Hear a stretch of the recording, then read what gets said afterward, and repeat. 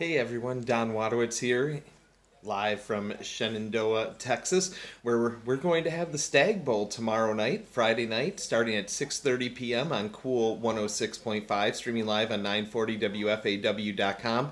And of course, as you know, it's also going to be broadcast on ESPNU, which ironically, we don't have in our hotel right here in Shenandoah. Only have ESPN, ESPN2, and ESPN News.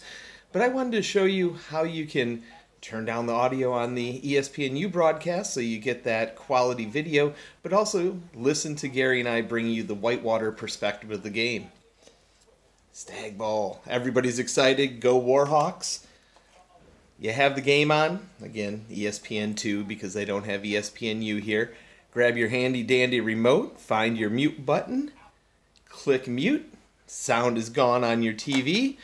And then all you need to do is go to something where you have the interwebs, go to 940wfaw.com, and there's that purple Kool 106.5 listen live button. You just click on that link.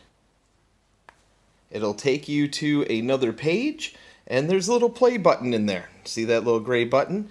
You just hit that, and it'll start playing our broadcast. And it shouldn't be too much of a delay for you. You should be able to keep up with TV pretty well. So we hope that you'll tune in to our broadcast on Kool 106.5 and streaming live 940WFAW.com tomorrow. We appreciate your support all season. One more game left to go. The Stagg Bowl. Go Warhawks. We look forward to talking to you tomorrow, Friday, 6:30 p.m. from Shenandoah. Have a great one till then, everybody.